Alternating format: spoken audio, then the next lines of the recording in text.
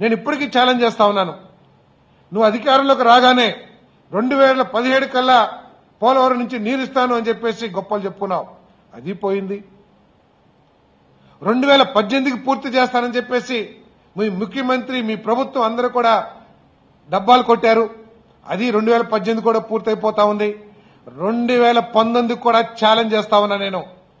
నీకేమైనా దమ్ముంటే కృష్ణా జలాలు తాగున్న మనిషివైనట్లయితే నువ్వు రెండు వేల పంతొమ్మిదికి రిహాబిలిటేషన్తో సహా పూర్తిగా ప్రాజెక్ట్ని పూర్తి చేసినట్లయితే నేను రాజకీయాల నుంచి తప్పుకుంటాను పూర్తి చేయలేకపోతే నీకు కృష్ణా జిల్లా పౌరుషం ఉంటే నువ్వు రాజకీయాల నుంచి తప్పుకుంటానికి సిద్ధమా అని చెప్పేసి నేను దేవుని ఉమామేశ్వరాన్ని ఈ సందర్భంగా ఛాలెంజ్ చేస్తానని చెప్పేసి మనం చేస్తాను ఎంతసేపు సొల్లు ఎంతసేపు పిట్టలు దొరకమెళ్ళే ఏదో మాట్లాడతాం వెళ్ళిపోవటం నీకు సిగ్గేనేది ఉంటే నువ్వు తినేది కృష్ణా జిల్లా రైతాంగం పండించిన కష్టపడి పండించిన అన్నం అయినట్లయితే ఈ రోజు కృష్ణా జిల్లాలో నువ్వు పట్టిసీమ ద్వారా నీళ్ళు ఇచ్చానని చెప్పేసి గొప్పగా చెప్పుకుంటున్నావు.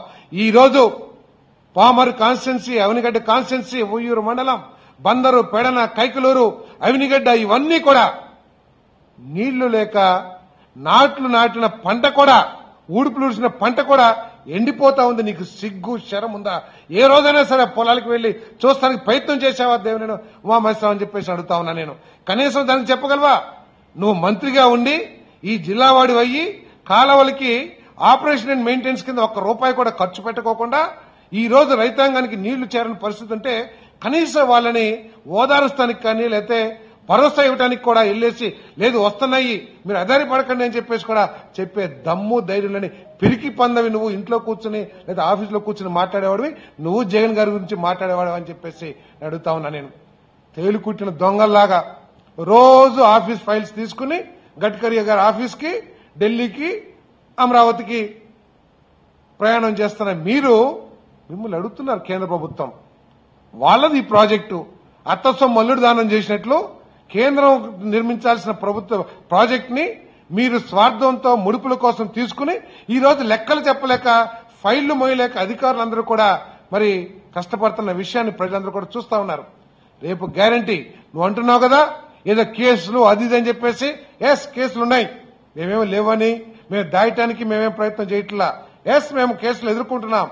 మాకు ఈ- ఈ దేశ న్యాయ వ్యవస్థ మీద నమ్మకం ఉంది. నీకు గనక సిగ్గుంటే నీ పరిపాలన మీద కానీ నీ నాయకుడి మీద కానీ నమ్మకం ఉంటే ఈరోజు నీ మీద కానీ నీ ప్రభుత్వం మీద కానీ నీ నాయకుడి మీద కానీ వచ్చిన ఆరోపణల మీద సిబిఐ ఎంక్వైరీ వేయడానికి సిద్ధంగా ఉన్నదా ఈ చంద్రబాబు నాయుడు ప్రభుత్వం అని చెప్పేసి ఛాలెంజ్ చేస్తా ఉన్నా నేను. ఒకవేళ మీరు నీతిమంతంగా పరిపాలన చేస్తున్నాం ప్రాజెక్టులో ఎక్కడా కూడా ఏమి అవినీతి లేదు పారదర్శకంగా మేము ప్రాజెక్టులు నిర్మిస్తున్నాం అని చెప్పేసి ధైర్యం నీకున్నట్లయితే వెంటనే సిబిఐ ఎంక్వైరీ వేయండి. ఏ విధంగా అయితే రాజశేఖర రెడ్డి గారు ఆ రోజు తన కుమారుడు జగన్మోహన్ రెడ్డి మీద తన మంత్రివర్గ సహచరుడు బొత్స సత్యనారాయణ మీద ఏ విధంగా అయితే సిబిఐ ఎంక్వైరీ వేసి వారందరూ కూడా నిజాయితీ పనులు సత్యులు అని చెప్పేసి సిబిఐ ద్వారా ఏ విధంగా అయితే తేల్చారో నీకు దమ్ముంటే ఈ రోజు వెంటనే మేమని చెప్పేసి చెప్తా ఉన్నాం. బీజేపీ టీడీపీ ఇద్దరు కలిసి ఈ పోలవరం ప్రాజెక్టు విషయంలో అన్నిట్లో కూడా మోసం చేసి ఈరోజు ట్రిక్కులు చేస్తున్నాయి ఈ రెండు పార్టీలు కూడా కలిసి ప్రజల్ని మభ్యపెట్టడం కోసం ఇద్దరు కూడా ఆయనేమో ఏ- ఇస్తానంటాడు ఈయనేమో ఇవ్వలేదంటాడు ఈ విధంగా ప్రజల్ని మోసం చేసిన చేయటం కష్టం కట్టిపెట్టి నీకు అప్పగిచ్చిన బాధ్యతలు మీరు ఇచ్చిన హామీలని అమలు చేయమని చెప్పేసి మనం చేస్తాను ఎంతసేపు వీళ్ళు ఎట్లా ఉందంటే సందట్లో సడేమియలాగా ఇంకో ఏడెనిమిది నెలల్లో ప్రభుత్వం ఇంటికి వెళ్ళిపోతుందని మానసికంగా సిద్ధపడి అన్ని టెండర్లు ముఖ్యమంత్రి గారు చెప్తున్నారు. టెండర్లు తొందరగా పెట్టండి టెండర్లు తొందరగా చేయండి అని చెప్పేసి. దానికి డిపిఆర్ తయారైనా అవ్వకపోయినా కూడా టెండర్లు పూర్తి చేసి కమిషన్లు పట్టుకుందామని చెప్పేసి ప్రయత్నంలో ఈ ప్రభుత్వం ఉంది.